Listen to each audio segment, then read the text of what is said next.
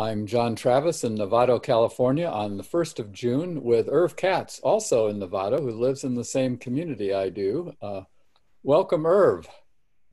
Glad to be here. Did I say it's 2020? I'm not sure if when I uh, added the date, but uh, here we are in the middle of the pandemic, lockdown.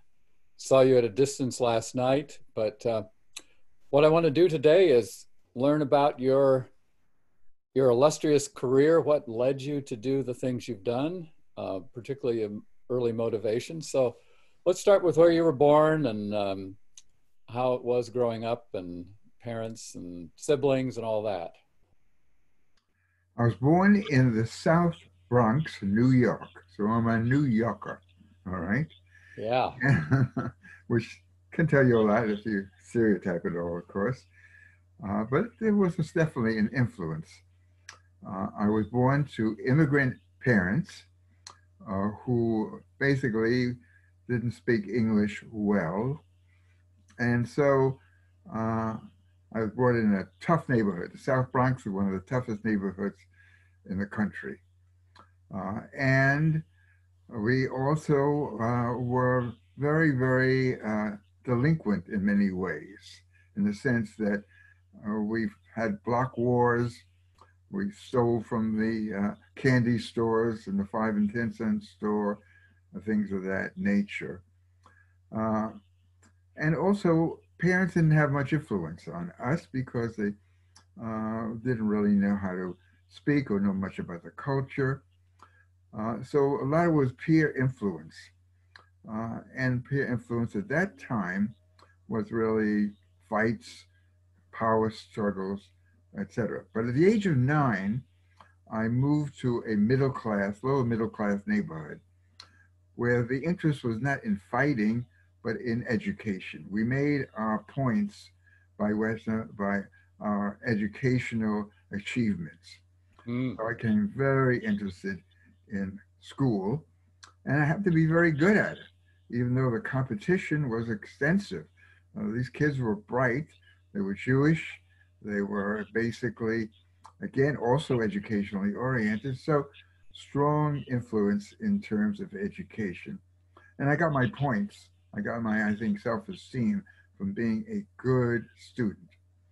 Now, this was in the, in the early Depression, right? You were born in. The... I was born in the Depression. I was born in 1929, right during the Depression. So we went through the Depression years, uh, which was not easy at all because we didn't have the food or the monetary aspects yeah. that uh, most kids had, or some kids had. And so uh, it really got a chance to get an education on how it is to be poor, how it is to be in a depression. And how, uh, what did your father do and they had siblings?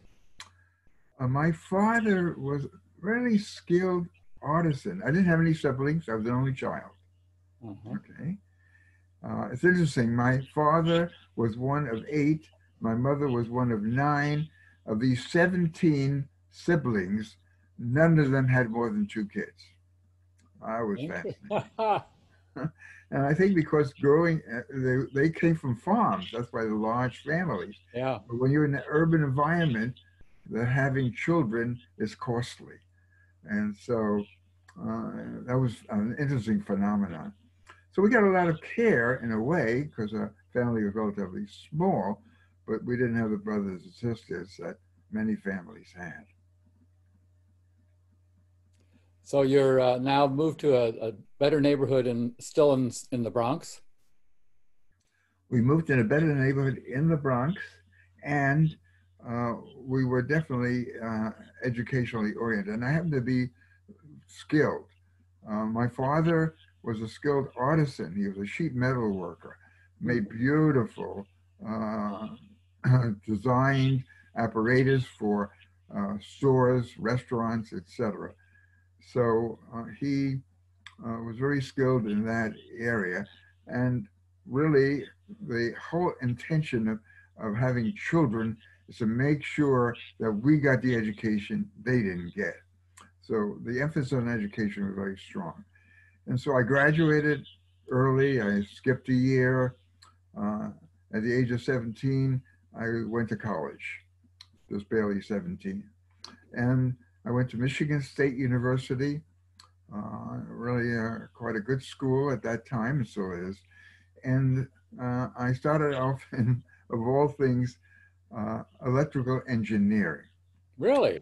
Yeah, I, I, my cousin was an engineer, so uh, I figured that's the way to go. But I soon found that I was more interested in humans than I was in uh, bridges and making bridges and so forth. And so I was switched over to industrial engineering. Uh, but I started taking psych courses, and I found, well, my really interest was industrial psychology. Then I started taking courses at clinical psych, and I found, and I finally majored in clinical psychology, etc. I've never heard of industrial psychology. Was there the psychology of industry? Uh, my, a lot of it was motion time work, it's oh. industrial, but it's really the efficiency yeah. in of humans in yeah in industry in business, etc. Uh, it, was, it was fascinating to me, but clinical psych definitely was more fascinating. Mm-hmm. So you did four years at Michigan State. I did, yeah, actually three and a half. I, even though I, I oh. lost credits by transferring, you know, these transfers, I still uh, uh, was able to uh, master the subject, so I graduated early and mm. magna cum laude. And then I went to Penn State University for my master's degree, and I graduated in one year and decided to go back to Michigan State. I realized I really liked Michigan State University and I went there for my doctoral degree. Interesting. Turned into a Midwesterner, huh? Yes, definitely. For that time, anyway. So you got your PhD in clinical psych. Right. And then, then what? Then I decided to go west. okay. Ah. So a position opened up, of all places, at a university uh, that was just starting in Las Vegas. And also I had some connections with the school system too. So it was a joint uh, appointment that I had as a school psychologist and also starting the Department of Psychology at UNLV. Uh, and so uh, started it. professor oh. thereafter for 13 years. I thought I'd only say, I thought I'd only go west for one year but it was interesting to go into uh, an area that is just blooming.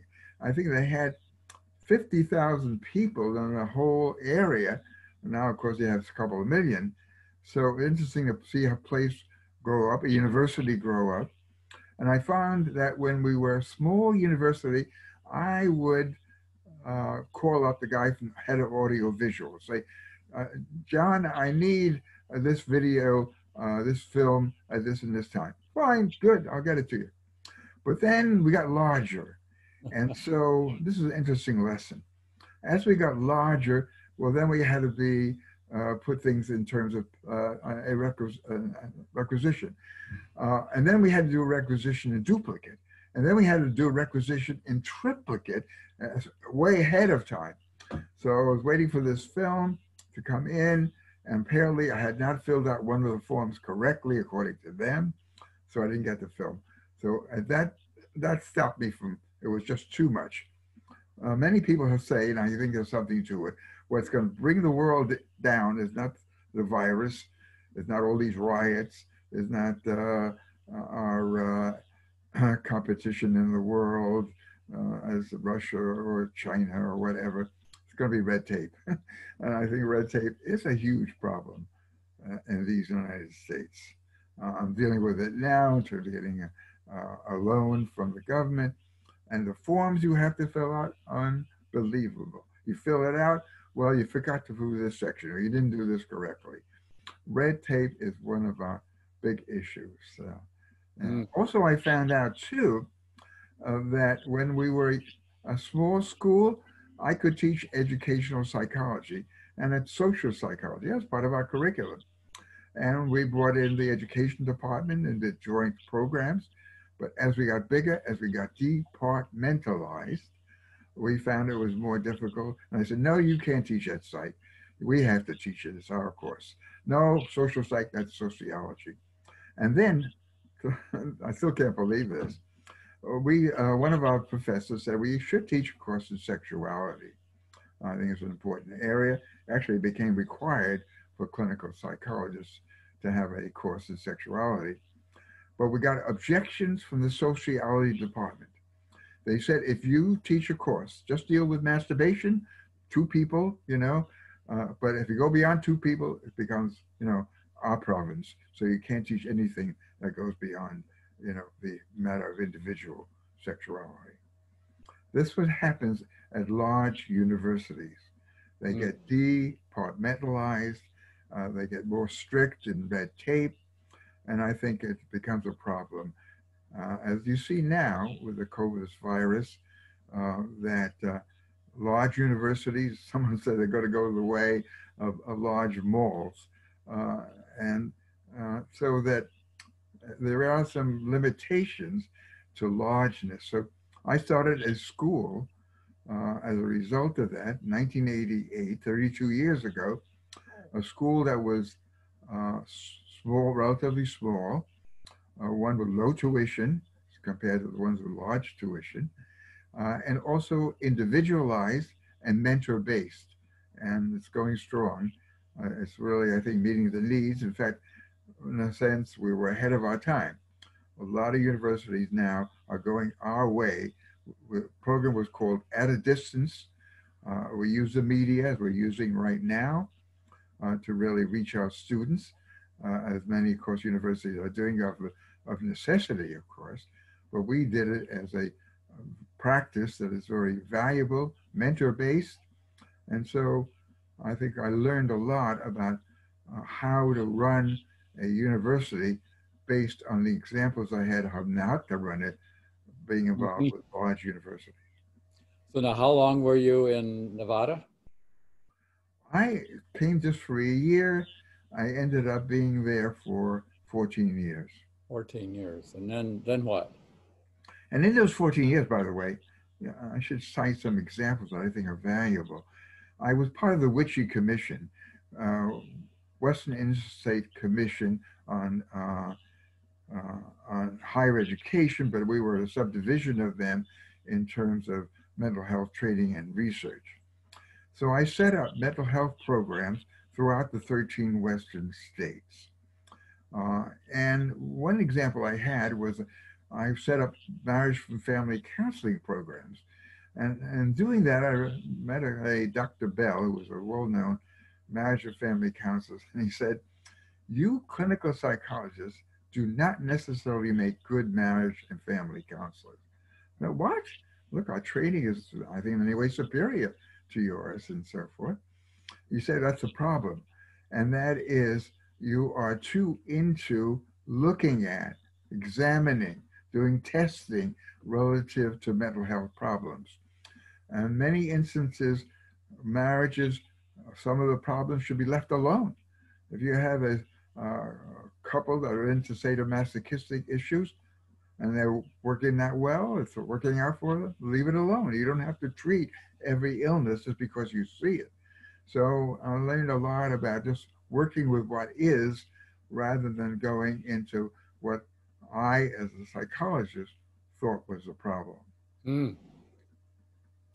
So, uh, and and you learned that while you were still in Nevada, or is that did that come later? Yes, because I was part of the WICHE Commission representing oh, right, yeah. Nevada, and yeah, I learned a lot really regarding that in terms of how to set up programs and be pertinent, be aware, wise, and smart about whatever you're doing. There's a tendency, and it's true of psychologists, true of physicians, and that is to not really stick to what is the issue. Rather, you know, you go ahead and do what you think you're skilled in and trained in, which yeah. may not well be. So uh, I learned that as a person who got involved in terms of my own health. I had a massive heart attack 15 years ago. Uh, and uh, I thought I had, as many men do, heart, heartburn, etc. But they did a uh, exam which indicated I had actually two massive heart attacks.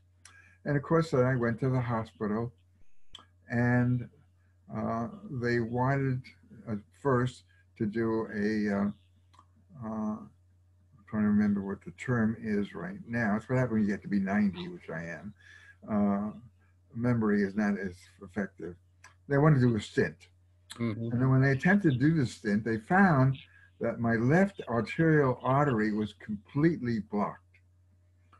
And so at that time, they weren't sure when it's completely blocked to do a stint or not. In fact, they were doing research and they wanted to be part of the research where they choose whether they put a stint or not in, in terms of doing adequate research. I said, no, I want to have an informed decision. And I looked it up and I found that, well, I could do without a stint, that there's no indication. And that's why they were doing the study. Uh, so I didn't do a stint uh, and I didn't stay long in the hospital. Uh, I didn't do some of the drugs they wanted me to do. I just did went into alternative and integral health. And I haven't had a heart problem since. And you probably developed good collateral uh, circulation around Right. the blockage. yeah. Arteries took over Yeah. and my heart condition is uh, is fine. One other story relating to that, and I talked to my cardiologist, and he's been very surprised at how healthy I've been, uh, etc. And he said, "You know what your ticket to health is?" I said, "No. What is my ticket to health?" He pointed to my wife. Ah, Uh, I think that was the key element in my health, in my living to 90 and in fairly good health, is my wife, uh, and who not only takes great care of me, but having a loving relationship yeah. is a huge element in all. He's a gem, I know. Okay. Well, uh, after you left um, Nevada, what what was the next chapter in in your saga? Yeah, after I left uh, Nevada, a um, uh, position came open in San Francisco area. Uh, uh, in terms of uh, the university I was uh, working with, it was a uh, university that was basically innovative and I wasn't in, in terms of a large university. Uh, I'm trying to think of the name of it right now. Uh, it's well known, Yellow Springs, Ohio. Antioch. Yeah. So I really became the primary professor at Antioch University. They wanted me to take over the school, but I didn't want to get involved in administration. So basically, I became one of the uh, professors, and I was innovative in what I did. I did a lot of retreats, uh, Wilbur Hot Springs, uh, at uh, um, programs where we could meet, you know, in a setting where we were doing mass learning, meeting overnight, et cetera. And I found that was very effective. And we do that at IUPS. Might have got a plug in there, International University of Professional Study, that I started in 1988. Uh, and so we are high on retreats, on workshops, where you really get down to the nitty gritty of a program and interaction in a way that supports the learning process. So I learned a lot in my uh, many years as a professor, and that is to utilize what is the best uh, programs that will bring about the kind of results that ought to be done, uh, performed at every university. And it's interesting that right now, university, because of the expediency, uh, are now getting into programs uh, that are utilizing, as we are not now, uh, technology that really brings the classroom to the individual rather than going to a large classroom, getting a parking spot, uh, et cetera, being in a class of several hundred or more. I remember when I was one of these large classes, uh, I, I would go to my watch. I couldn't believe that it was still working because time seemed to go very slowly. Mm. Now, I'm curious, uh, I know somewhere along the way you and Susan Campbell uh, met up because I've interviewed her and we talked about you. And of course, I've known her for a long time. And uh, where, where in the sequence did you meet Susan? And I met Susan, I can't remember how many years ago, quite a while ago. We were at a work, we were at the APA, uh, American Psychological Association workshop in uh, Hawaii, of all places. And I was attracted to her, but she was a queen, as you could expect, you know, of the APA uh, group. And, but uh, I indicated, which usually I, am not that forceful, uh, and uh, I really wanted to meet with her. And uh, she said she was busy at that time. She was actually with someone, but we met. And the upshot it was I suggested we both take a leave of absence. I was then a professor at uh, uh, UNLV. She was a professor at University of Massachusetts.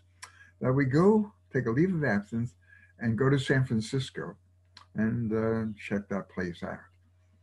We did, and we happened to be right across the street uh, from a starting university. Antioch was going to do a subdivision there in San Francisco, we started teaching, the two of us. And then we started doing workshops also uh, uh, in terms of uh, the West Coast and really enjoyed the West Coast, enjoyed each other. We rented an apartment, etc. And I think we learned a lot from each other. So this was at the end of your time in Nevada, that just before you moved permanently to San Francisco? Yeah, when I uh, came back to Nevada, I decided to leave uh-huh. And that's and I decided to go up to San Francisco and continue my uh, teaching at, mm-hmm. Antioch. So uh, I found San Francisco a wonderful place to be at. And what year was that? I enjoyed it. When you went there, do you remember? Uh, I don't remember the year. Uh, uh, well, I know that uh, Will, it, was, it was around the 1970s, right? I know Will Schutz uh, was teaching there at uh, in the late 70s and invited me to guest lecture to his class. So, and you you knew Will, and unfortunately, I couldn't interview him before he died. I'm going to interview his widow at some point, but uh, uh, tell me a little about Will Schutz since we can't interview him directly. You, I gather you knew him pretty well. Yes, I got to know him quite well. And while I was at uh, Antioch, uh, he went even further than I did. He wanted to establish a program. And in that program, it was really one big workshop, basically. Uh, and Will was a really uh, innovative and uh, instructor, and I approved of what he did because uh, he went even further than I did. Now I did workshops, but he did one big workshop as a way of teaching. And so, and I think the students appreciated him. He was innovative, uh, sometimes really uh, very unique in what he did, but he had a good sense of teaching and how to establish. He was a great workshop leader. So uh, Will really establish a good program in that way and probably for viewers down the line who may not have heard of him, he actually, I consider that he invented the encounter group. I, there were the T groups that uh, um, out east, but uh, I know he uh, started that at Esalen, and I remember reading about Esalen in Life magazine when I was in high school, thinking, you know, this is kind of weird.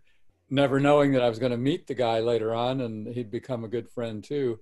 But uh, uh, he was pretty radical in his um, and open with the, the, sexual components in an era of the 60s when before the sexual revolution which i think he had a, a major part in bringing that about through his uh, encounter groups and so forth. But um, would you agree? Is that that how you uh, picture oh yeah and i think the encounter group was really one that was innovative and very helpful. Uh, and Carl Rogers proved of it. Uh, and I uh, well, got involved with encounter groups.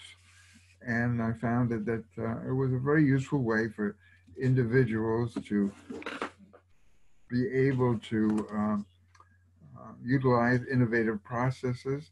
I think it was, valuable while it lasted, and Will Schutz was definitely an innovator in that. I, I witnessed when he took it into corporations with his FIRO test. Uh, he, he needed an extra body for one of his workshops when he was starting that. And I watched him take a room full of uptight executives and turn it into an encounter group in one evening down in Carmel Valley uh, through filling out that questionnaire. It was amazing to watch what he could do with a, a group of uptight professional, uh, um, I don't know what careers they had, but they, they were new to all this. So uh, how long were you at Antioch then? How, how did that, tell more about that program? Yeah, I was in Antioch for quite a while um, because uh, we decided uh, to open up Antioch in uh, Hawaii. So I went to Hawaii and opened up Antioch University uh, in uh, uh, Oahu. And we had really a, quite a uh, successful program there. I also taught at some of the Antioch subdivisions in Los Angeles and Seattle. Really? I didn't know yeah. they had all those branches.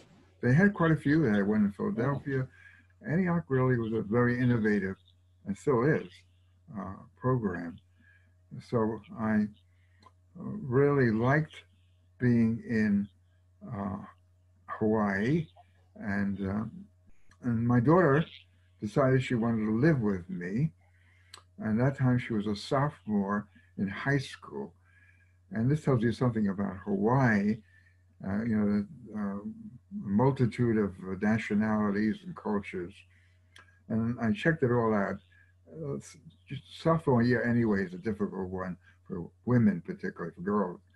And so I found that it would be difficult for her to um, be able to uh, really be uh, comfortable uh, on Oahu in a uh, high school there. So I decided to move back to where she was living with my ex-wife in San Diego. And I got involved with a school there, the Professional School of Psychological uh, Systems, PSPS. And so, and that also was innovative. Uh, they got uh, accredited by the state of California and this is an interesting story. And that is, I tend to notice whether it be uh, uh, someone who is uh, just starting a program or someone who has just uh, skills, um, just like Susan, obviously I, I, saw her skills. And we got involved and I followed her work and used her textbooks uh, as part of our program. Uh, and then uh, I came to San Francisco at one point. I was doing a, Hawaii. I did a workshop, and this um, woman came as part of it. She was dealing with breast cancer, uh, and I noticed that she was really very skilled. Uh, so I said, "Why don't you come down to San uh, uh, San Diego? I'm, I'm, teaching at a school there, uh, and I have a place open in my." Uh, in my apartment complex I was living in. And so she came down and uh, did very well at school. And one day she comes to me and says, you know, I was just walking down a parkway and my eyes went up and down, up and down, up and down, and my disturbing thoughts left. And I want to do a dissertation on that. I said, what? That's crazy. I mean, uh, let me prove a dissertation because your eyes went up and down, etc. But she was so persistent so I thought, well, it's not going to work, but she's going to learn something from the, that's the main thing about doctoral dissertations. You learn about research. It's not so much what you do, it's how you do it. And so, of course, she had a great deal of success, and that started EMDR. Eye movement desensitization reprocessing. And that was a, a, a, PhD student of yours. I've forgotten her name. Uh, Francine Shapiro. Oh, yes, yes. Well, that's historic because that's, uh, I remember Kaiser actually uh, approved of it and did research and it, uh, mm -hmm. surprisingly well accepted in the mainstream. Interesting. Now, what years were you in San Diego? Just out of I think I was there early in the 1970s, uh, in 1980s. I would, uh, and then we decided, um, that was after Antioch. right, at, at Antioch, right. Uh, and so basically, uh, after a while, I went back to uh, Hawaii, which I enjoyed tremendously. Um, and this is another interesting experience I had recently uh, where I did a continuing education course for the psychologists, marriage and family counselors, social workers on the Big Island, group of around 50, on multi-level counseling. And Hawaii is fascinating in the standpoint that uh, there's no nationality that is a majority. So people have had to find ways of getting along together. Uh, and so we had in this group Portuguese, uh, we had Hawaiians, we had uh, Chinese, we had Japanese, we had about every culture that was represented. And so we went into depth about what each culture and what you need to look at to some extent if you're going to deal with that culture. At the end of the workshop, I said, it was mainly for shock value. Forget what I said about all these cultures. Really, what I want you to do is basically see each person as an individual, not how, uh, oh, he's Portuguese and I got to treat them this way or that way. Mm-hmm. So, uh, again, uh, the lesson I got from marriage and family counseling just deal with the individual and the issues they bring you. Don't bring up your own even though you're very skilled. You may be very skilled in working. In fact, you got to go watch that. If you have certain schools, you may be drawn to utilize those skills. So when I see somebody as a therapist, I have, when they come to the office, I do very little way of testing. Uh, even though I had a broad background, years of testing when I went to school. Uh, and so uh, I became very skilled in the Rorschach because I did Rorschach at Penn State, but they had a different method in Michigan State. So I took another year of the Rorschach. And I don't, I don't use it now uh, mm-hmm. because uh, it's a valuable test. But I'd rather see the person fresh as possible without necessarily a long history, without necessarily their nationality, without necessarily uh, uh, a, uh, uh, a great background check on them. I think then I can meet the person as a person uh, and really meet them fresh and new without a minimum of preconceptions. Now, uh, uh, you mentioned uh, a daughter and an ex-wife along the way. Let's go back and fill in your, your social history of uh, any other kids and uh, how you met your first wife and what that was like. Okay, I met my first wife. One of the beauties of living in New York is that in the summers we used to go to the Catskill Mountains. Mm-hmm. Uh, it's a great place. It's, uh, it's deteriorated somewhat since then, but at that time, you know, it was a great place for a young college student to work.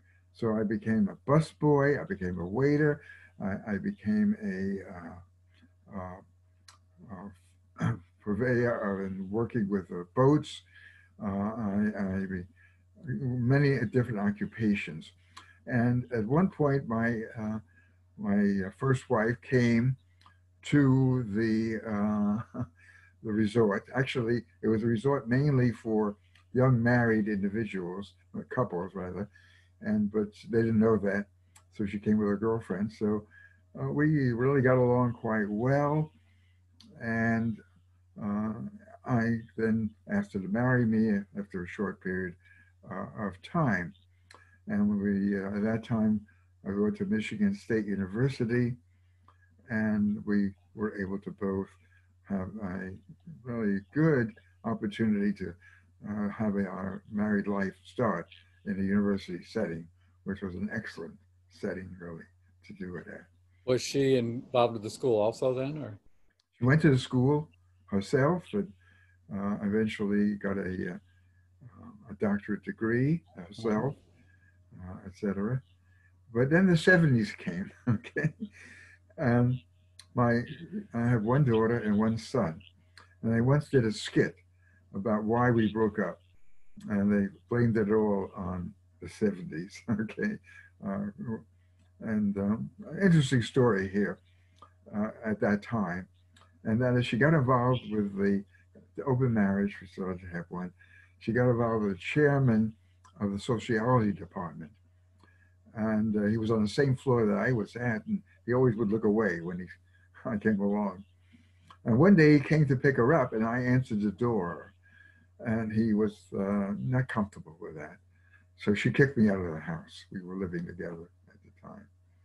Uh, and so uh, basically, uh, I think the 70s was a, really a, an important era for myself and a lot of us who lived in those times. We got up, went up to San Francisco, you know, with the peace movement and, of course, the drugs that they got involved with later on. Uh, but I enjoyed San Francisco, and that's why I'm still here in that area. Uh, were you at the Summer of Love and, and uh, Haight Ashbury? No, I wasn't. At that time, uh, we took a trip from Las Vegas. Uh, we took pictures. Uh, we, we met with the individuals. We really appreciated at that time. Uh, uh, the Summer of Love was really an amazing experience. Of course, drugs got into the picture, unfortunately, and, and I think affected that, which shows you again the effect of drugs on our culture. But at that time, they were a tremendous example of how people can be.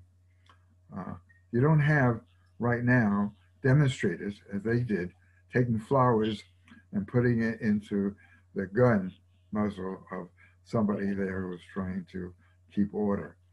Uh, they came from love, mm-hmm. and they came from uh, a, a, different state and not affected affected the police. Uh, mm-hmm. I think that they were able to survive a lot until they got into the drugs. Then it became a different story. Mm-hmm. So then uh, you split up uh, when you were at uh, Michigan State with your first wife? Say it again. You split up when you were still at Michigan State with your first wife and the sociology? Yeah, no, we had graduated, moved down to San Diego, where I was involved, of course, with, with Antioch. Oh, okay. And then then we split up in the in the 70s. Yeah. So the the sociology guy was at San Diego, not in not in Michigan. Right. Yeah. okay. Any um, uh, and, and how old were your kids then, and what uh, what's your uh, relationship? Uh, my daughter was four, and my son was ten. Uh huh. And uh, are you are they still in contact? And what? Uh, oh yeah, definitely. Right now, uh, my son uh, lives down. He's an IT person with uh, Mazda, and uh, my they're very different. My son and and my daughter, and my son is uh, um, helping out right now doing rewriting my website. So we are really, really wonderful contact. My daughter, who uh, started to uh, went to University of California, uh, Santa Cruz, and entered the Park Service. She's going to be retiring in, in a month, interestingly enough. Ah. Uh, and she loves the Park Service uh, in Santa Cruz, lives in Santa Cruz and uh, we are very close. And so is my son. And so, yeah, I have an excellent relationships with both of them and enjoy uh, our, our contacts together tremendously. Any grandchildren? Yeah, I have a grandchild, uh, two grandchildren, uh, a granddaughter who's 22 by my daughter, and a grandson who's 15 by my grand by my son. Uh-huh. So now we're um, um, in San Diego. You're on the faculty at uh, the PC, was it PSPS, you said? Yeah, that's the school. The school with is IUPS, it's a plug, International University Professional Studies. I'm the chancellor of the program. That's the one in Hawaii. That's the one in Hawaii. Yeah, Yeah. we're located in Makawao. So, one of the things in order to have enough residency in the state, I travel to the state at least uh, three months a year for uh, different times, and so that's one of the uh, uh, duties that I have as as chancellor to have sufficient time uh, on the island, which uh, of course I enjoy tremendously. Yeah, I, I want to get up to there uh, uh, shortly, but uh, want to finish up with San Diego. So um, that's where you met Enula. So fill us in on on the rest of your time in San Diego and and Yeah, of course, with English, she was one of my students, and uh, I, I remember that I was just so attracted to her that every time I looked at her, I would stop talking, so I had to avoid her. And she sort of got a shock when she saw me. And so uh, I, I believed not getting involved with my students. Uh, and so uh, it was only after uh, I uh, decided to uh, uh, quit Antioch and uh, move to back to uh, Hawaii. And uh, she decided to come help me in the move, although she paid her own ticket, as she said. At any rate, the, the story I have, this is 32 years ago, uh, well, 25 ago, we met 32 years ago, and uh, she never left. okay. oh, And so we have this wonderful relationship. We got married uh, in Las Vegas, of all places. at a wedding chapel, Pardon? at one of those wedding chapels. That was an interesting, story in itself. And that is that we're looking for a place to marry. We checked the wedding out, and of course, uh, Indula, uh, you know, some of them were actually drive-ins. That was not for her. Uh, so we decided to be married. Uh, the uh, federal judge in Nevada happened to be a friend of mine, so we decided to be married by him. And when we came to the uh, the place where they had the uh, courts, um, someone had uh, phoned in a a, uh, a death threat or a bomb threat, so we couldn't go in. Uh, so, but after a while we did. To make a long story short, um, we asked him to do it, but he said, "No, I'm too busy. I'm way behind in my schedule." Uh, said, "We we had invited people from different areas to come there, and he finally put his cloak on, and we moved to a place not far down the road, uh, a casino, and it just had to be a casino that once we got a postcard that you know sent to her, her father that well, yeah, maybe we get married there sometime, and so it happened to be the same one. We just happened to choose it by by happenstance. Hmm. So uh, we got married by this federal judge, and that was a great experience.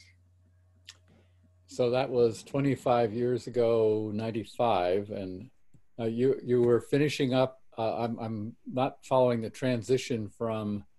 Uh, you went from Antioch to the uh, PCS uh, PC PSPS in San Diego, and you wrapped up there, and and then you were doing Antioch in Hawaii before or after that. I'm I'm not tracking the sequence. Yeah, we did IUPS when we moved to Hawaii. That, that's the one you started then afterwards, Correct. after PSPS. Okay. Right. Now, what gave you the idea, given that you didn't like administration when you first went to Antioch, to take on such a task? Very good question, and I'm still wondering about it. Uh, actually, we had met some friends that I knew uh, had come to uh, Maui to start a university. Uh, and uh, he didn't know much about it, uh, but he felt that he wanted to do some research and starting a university would be a good avenue to do that. So he didn't know much about universities, and I knew quite a bit. And so I began to help him. But after two years, uh, he decided to move away from uh, Maui and wanted to know if I wanted to take over. Uh, Mm. and uh, for some reason or other, I, I did. And I, I uh, and, and once I got involved with the university, like having a, a tiger uh, by the tail because it's hard to let go. And uh, we're a nonprofit organization, and to deal with a nonprofit, you can't sell it, and you have to find some other group to take it over and so forth. But it's been satisfying to us in many ways. Uh, of course, I've really mentored a lot of students, and the feedback that we get from individuals has been heartening. Wow, this is what, exactly what I've been looking for. I wanted a program that had a spiritual orientation as well as an educational orientation. I wanted a program that where I could work with someone like a mentor who could guide me rather than having a bunch of professors who really weren't coordinated what I did and sometimes conflictual with what they did. Large classrooms, uh, certainly not the personal attention you would get from a mentor.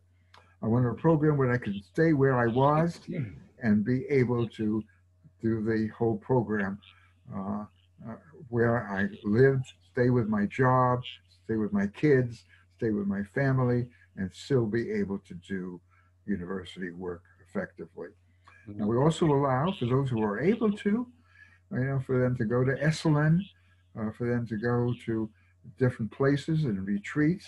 I, Elena, I were big on workshops and retreats.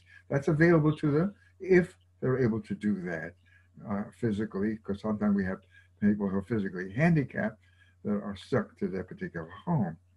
So we have a versatile program, a program that the students very much appreciate, and it's heartwarming to get the kind of feedback that we get from them. And our students are out there making a difference on the planet. It's amazing what they're doing. Mm. Uh, and so, uh, but I'm 90 now, okay, and uh, it's time for me to at least semi-retire. Uh, we're looking at somebody right now who looks like they're going to be able to take over, and uh, I'm looking forward to retiring. And you and I live in this wonderful place. We ought to give a plug. Yeah, I want to get into that. Uh, but before that, uh, I, I can tell that Enul is in the background, and I wonder if she'll stick her face in the camera at least so we can document uh, your Hi, better half She wants, to wants to sit in and- camera. And join us too. Uh, and there she is. is. Hi, Jack. Do you want to say anything about the uh, the move to Hawaii and um, your your involvement in the university? Yeah, um, I would like to say something about Irv first. And Good. that is, uh, again, it shows that Irv doesn't have a big ego because he did so many things he didn't even mention. He was instrumental in the civil rights movement. Oh, really? He got the Yeah, let, blacks. let me tell a quick story about it. Can I do a quick story about that, honey?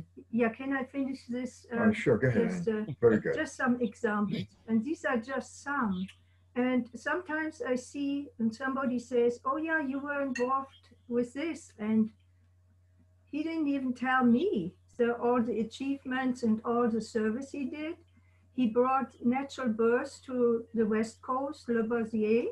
he invited him and uh, uh, con- could educate physicians and convince them In the, the birth. water birth, the natural birth, and he put in uh, also his um, energy to get acupuncture uh, legalized or acknowledged. So, Wow. And he he also helped the blacks having access to restaurant.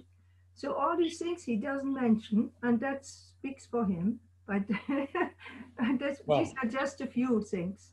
I'm I'm glad you brought this in. I'm, I'm Yeah. I didn't know Yeah. of either. I was part of the civil rights, interesting and pertinent to what's happening today. Um, I was part of, I was elected to the Civil Rights uh, Committee uh, in the state of Nevada.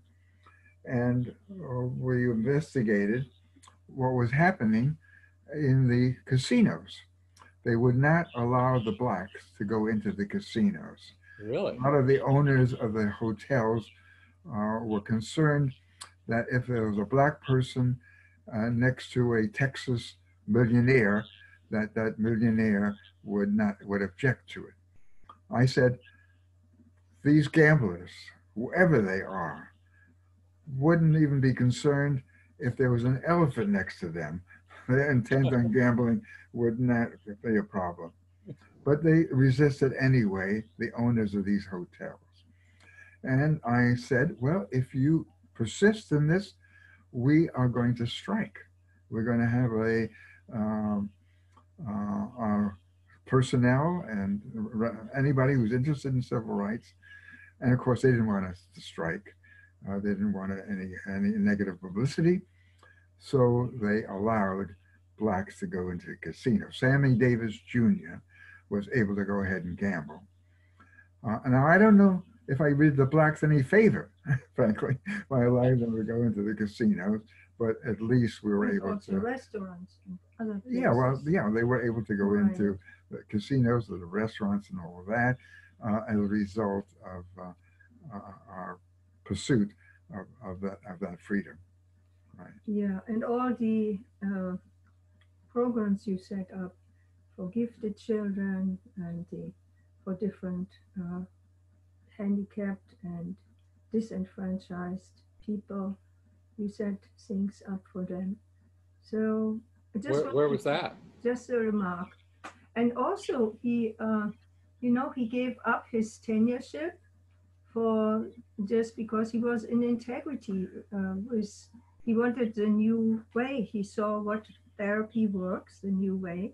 He was involved in Esalen, and but he lost his his. Uh, Well, I gave it out. Yeah, that's an interesting story in itself. You know, I was a uh, full professor, and I was tenured. You know, At, and in San I decided to give that up because I also saw the limitations as the university got bigger and bigger, more departmentalized, more red tape, etc. Uh, so I decided to, uh, which was amazing. to, uh, when I did a testimonial for me when I was leaving, the uh, chancellor of the university said, Dr. Katz had the Rock of Gibraltar. You know, he was security per se, you know, when you're tenured and so forth. Now, was this in Nevada or San Diego? This is in Nevada, right, Uh-huh. at the university there. Uh, and I came really, uh, I, uh, this other interesting story is that I had to make a decision. I also was very much involved with Vancouver in Canada. I really liked that. I did a lot of workshops there. Uh, we went to a island called Cortes Island Mhm. up uh, north of the Vancouver Island where we had a workshops there, uh, and so we did uh, we did workshops on a barge, and so I, I, I had to make a decision: should I go to San Francisco or should I go to Vancouver? Uh, so I spent a week in each place. I went to Vancouver, and it was raining every single day Yeah. heavily. I went to uh, San Francisco and I went to spend some time at the bridge and it was beautiful. It was sunny. You know It wasn't August, in other words. right, right. So I ended up in San Francisco. Yeah, and also maybe one more thing. Um, Irv is a talent scouter, and you heard about um, seeing the talents of Francine Shapiro, who developed EMDR. And if Irv wouldn't have accepted her new idea, millions, actually millions of people wouldn't have been helped with this Mm. EMDR soldiers. Many people all over the world. There are 100,000 trainers now. Really? If, yeah, so if Irv wouldn't have been open-minded and uh, seeing the the possibility, he has that um, the zeitgeist. He knows, and he has. He is a visionary. Even So- when he was skeptical, he could see, see beyond his own limitations. Exactly, exactly. And then many, he also saw many people who are now in the forefront of the field, many of his students, and he's a catalyst, a visionary and a catalyst. And along So- those lines, thank you. you know, uh, Fred Leboyer, you know, who is the one who did Yeah, I wanted to birth. talk about that. Yeah, that's one of my main interests. Is Oh, good. birth. We'd be interested in this story. I was uh, a key person in the Association of Humanistic Psychology. And while I was there at the office, and I set up the, the, the conferences for AHP in Santa Barbara, and we were very much, uh, we had some of the best conferences, over 1,200 people would attend. Uh, and uh, so uh, I uh, got this call and they said, we have Fred Leboyer in the East Coast. Would you like to sponsor him on the West Coast? I said, absolutely. I was really into what you do. And so when he came over to the West Coast, I presented him in front of, you know, pediatricians and physicians and so forth, and they were negative. They said, what do you mean? We need the lights. You can't have low lights, music while you're t- uh, delivering a child, putting it in a, in, a, uh, a tub of water. We don't do that, you know, kind of thing. Uh, however, I got the mothers involved in doing it, and they, of course, established programs in different hospitals. Meanwhile, with Fred Leboyer, I was also involved with Rebirthing with Leonard Orr. I Mhm. really appreciated what he was doing there. And I said, just why don't you come over and experience a birth with this person? And he was kind of skeptical, but since I was sponsoring him, he came over. At that time, they were doing rebirths in hot tubs. And Mhm. while he had rebirthing, he had a horrible experience regarding his own birth. Uh, and so that's why he really established, you know, gentle birth, because every time he delivered a child, he would relive this horrible trauma he had as uh, uh, during his own birth. So it's always interesting to see how individuals, and I'm sure I am, and I'm sure you are, a lot of things we do are the result of some experiences we've had. Our gifts come from our wounds. Is how I look at it. Mhm. Right, exactly, exactly. So And, uh, uh, uh, Leboyer's method has never really caught on as much as water birth has, but there's still, uh, I guess, the they like the lights and the. Um, Well, uh, not all the, but it did make a difference in this area, and I think a lot of other areas. They allow fathers now into the birth rooms, which they didn't do at that time. They may not have gotten involved with the low lights and the massaging the child, although some places do. They certainly have changed their birth to be a Yeah. much more gentle process, and they don't take the kid upside down and spank him anymore like they used. Yeah. Now, uh, we mentioned uh, this community where we live, Marin Valley Mobile Country Club, which is a weird name, but a wonderful place. How did you wind up here? What uh, what led you to, to get here? Yeah, it's a good question. We finally decided, living down in San Diego, that we really wanted to uh, move. We live in some beautiful places there, uh, but with mostly rentals, uh, and uh, we had some good renters, uh, et.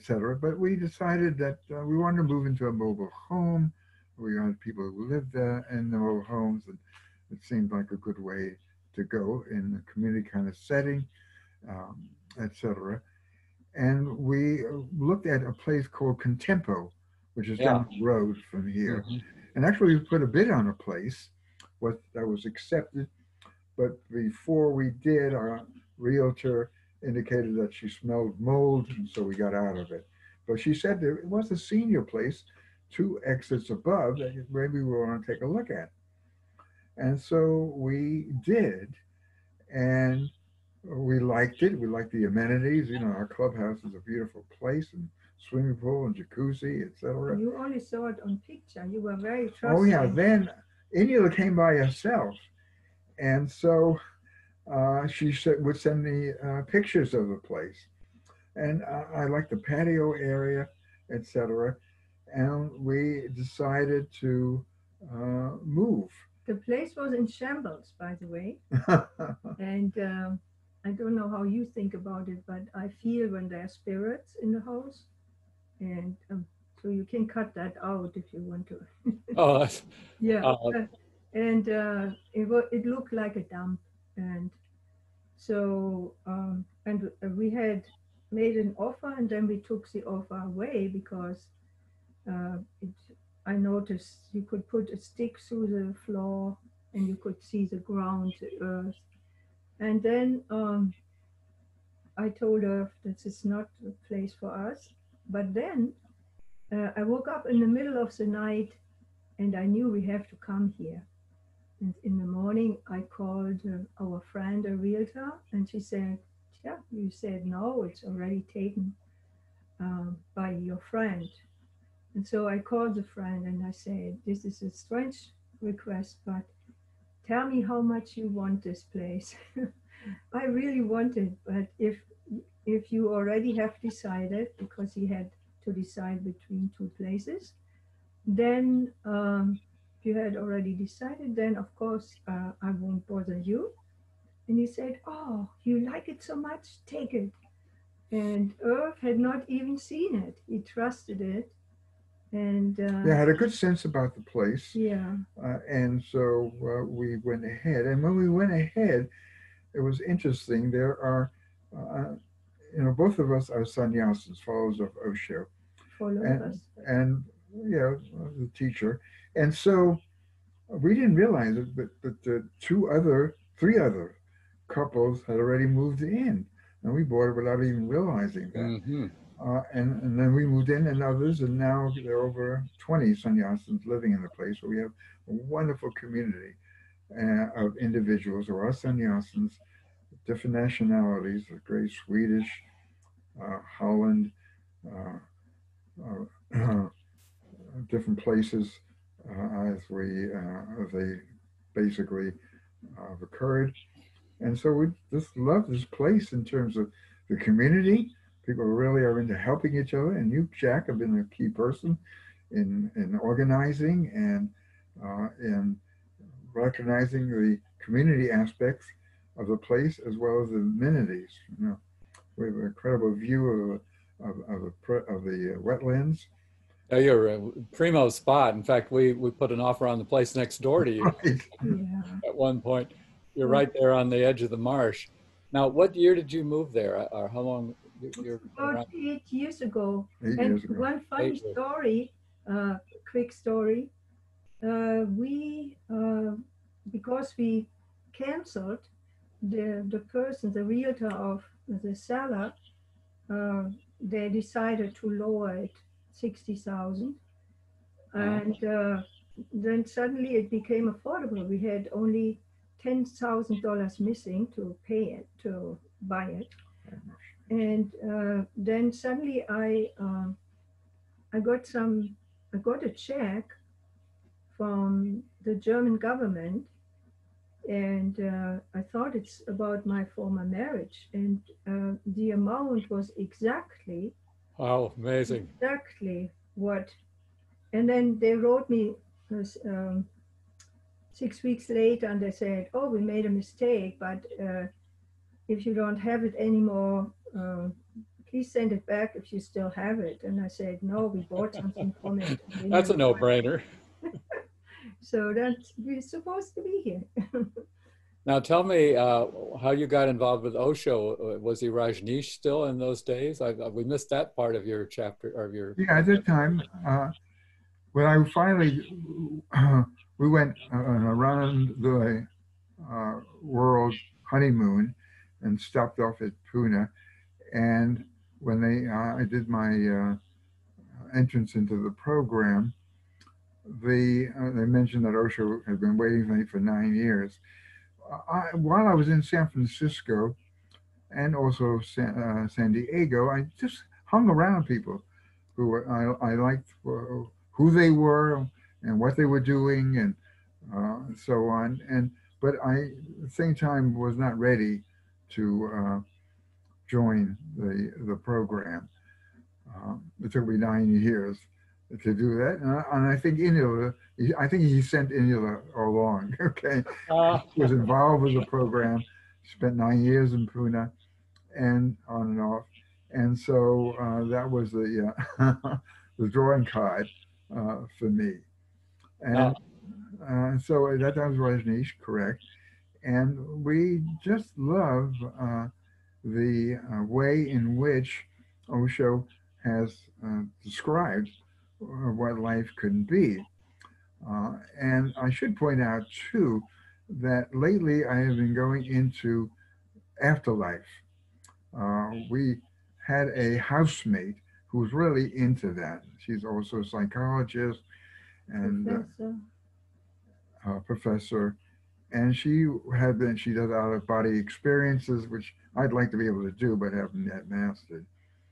And anyway, so I got into studying uh, the last four years afterlife, and basically I become aware that uh, we're here really to learn.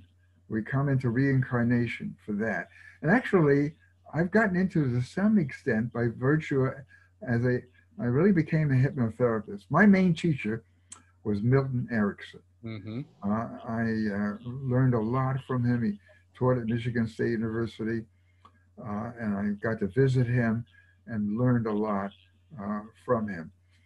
And while I was in hypnosis, I got into, and I learned that when people had past lives, there was some learning. For one of my problems and difficulties was sometimes making decisions.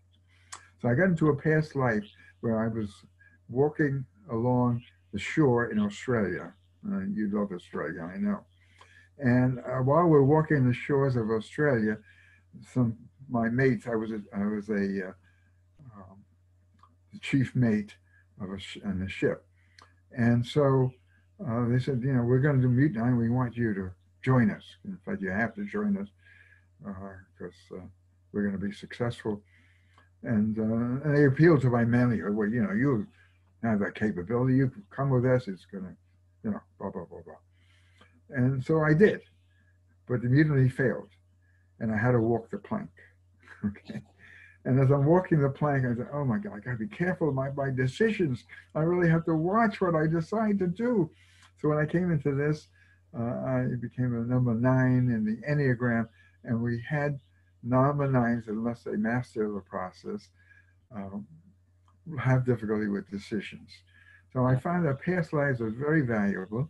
That we live in the afterlife, and we come into reincarnation to deal with certain things that we need to learn in this lifetime. And that's one of the things I've needed to learn to be able to be more decisive, um, many other things as well. So, uh, and that has made a difference in terms of what I do in this lifetime, and then I look for the learnings. And when somebody dies, I recognize they're moving on to a fantastic life. The afterlife is amazing. I've been reading about it, videos about it, uh, about those who uh, know about it. And so, you know, we, we dealt with a uh, situation this past uh, Sunday where we were doing a memorial Oh, there was for one that of the people here. I know. Yeah. And so, uh, in the memorial, you know, yeah, I, I was somewhat sad that he had, had gone, but I was also into being happy. To me, death is a celebration.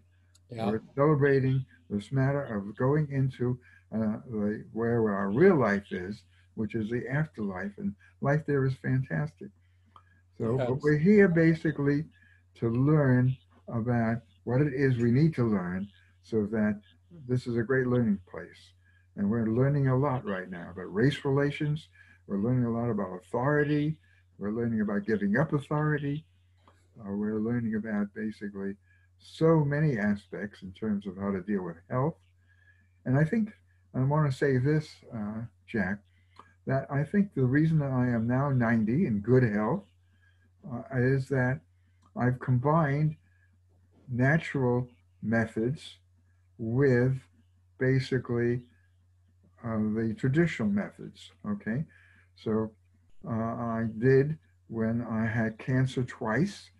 I did go into radiation, but I made sure that the radiation was not overly done, and I used alternative methods as well.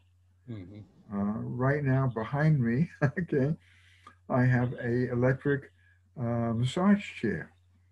Uh, uh, you can see it. Yeah, let's hardly see it. And I recently had a visit to my chiropractor, and he said that massage chair is working for you. You know, you had a place in your spine between the second and third vertebrae uh, that were obtrusive, and it's gone down quite a bit, and the whole area is softer. Mm. And we're also using some machines. Maybe India knows more about it. Can you tell them about the machines we're using here? Yeah, we use uh, oxygen ozone from longevity. And my favorite doctors told me about it, and uh, Dr. Rowan and uh, others. And that's the importance of oxygen because you have sleep apnea, and when you don't wear the mask or you don't have enough oxygen, your body gets affected. So we're using that, and then we use a PEMF machine. It's pulsed electromagnetic frequencies, hmm and it's amazing what it can do. And uh, Irv uses a massage chair, and we're using uh, the supplements. We look very carefully what's in there, mostly natural, and we cook everything from scratch. Oh, my. Are you there? hmm Okay, we can't see you anymore. Your screen saver may have come on. Yeah. Uh, well, this has been delightful. I need to wrap up um, yes. another uh, 1.30, but um, what parting words would you offer for future generations and from your wisdom and uh, um, hopefully our viewers down the line will still have this available? Yes, I would say that a recognition, if you will, that one, uh, that we're here to learn, and recognizing that whatever difficulties we have is really purposeful in terms of doing our learning. I've had a what people have called a charmed life, but I've also had challenges. And as I look back at my life, uh, as a hypnotherapist, as a clinical psychologist, uh, I'm utilizing more and more going back to what I call critical incidents. And when we go to critical incidents, we can see where we're making decisions hmm in regards to how we're living our life. And these decisions many times limit us in terms of fear, in terms of avoidance. And once we resolve the issues, whether it be in a past lifetime or in an early life, a lot of occurs at age four, I find, then we free ourselves and we learn from the experience. So I would certainly, as, as a message to others, uh, I'm a great believer in hypnotherapy and past life work uh, and learning about one's life in terms of what are the lessons that are there, both positive and negative. Uh, things that help our learning and accelerate our learning, and those that impede our learning and deter us from developing the way we could. And not to be afraid of death. I think Mhm. death is really to be celebrated rather than to be uh, dreaded. So I'm looking forward to celebrating and helping people who come to my uh, funeral. Uh, I, I like what uh, Joan, one of our former members, she called it funeral. Yes, yes. Okay, funeral. right. And so, Excellent. uh, I think the message is live life fully. You know, live life in terms of seeing it as a learning experience, see it as one that uh, we can evolve and develop even further in our attempts at getting and quote enlightened or at least uh, lightening up as far as life is concerned. Mm. And uh, you want to add to that, Ela? Mm. Yeah, I like your, your uh, metaphor of lightening up, lighter, becoming Yeah. Lighter, and uh, I hope that um, you the can you see uh, can you see Irv and me right now? Yes, yes. Okay, I my nose was itching, and I put my finger in my nose. I hope that Didn't notice. what? I didn't notice. Okay, but that's a learning to um, not to be concerned what other people think Exactly. of us, of me. Uh, that's their business. Yeah. and to be natural in, in terms of health and terms of expression. And I'm very grateful to have Irv as my my life partner, and just so grateful every day. What an incredible being he is. Great. Well, this has been a delight to get to know you both um, this much Okay. better. So thank you again. Oh, thank you. Okay. All right. Goodbye. Okay. Bye.